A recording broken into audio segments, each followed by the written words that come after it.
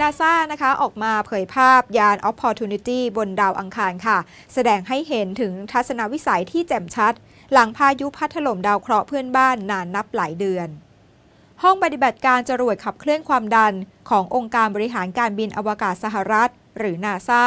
เปิดเผยภาพยาน Opportunity ยานโรเวอร์สำรวจดาวอังคาร ซึ่งบันทึกโดยกล้องไฮไลท์ กล้องความละเอียดสูง ที่ติดตั้งอยู่บนยาน Mars Reconnaissance Orbiter ที่โคจรรอบดาวอังคาร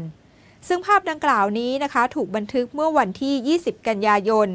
2018 ที่ผ่านมาเนี่ยแหละค่ะ ซึ่งก็เผยให้เห็นนะคะว่า พายุฝุ่นที่ถล่มหุบเขา Perseverance Valley บนดาวอังคารนั้นได้ผ่านไปแล้ว ทางนาซาเพิ่งออกมาเผยถึงพายุฝุ่นที่เพิ่งผ่านพ้นไป ด้วยภาพถ่ายดังกล่าว ที่มองเห็นยานโรเวอร์ อยู่บนพื้นผิวดาวอังคารได้อย่างชัดเจน ซึ่งก่อนหน้านี้นะคะ ยานก็ถูกบดบัง จากฝุ่นพายุขนาดมหึมาที่พัดถล่มเมื่อเดือนมิถุนายนที่ผ่านมา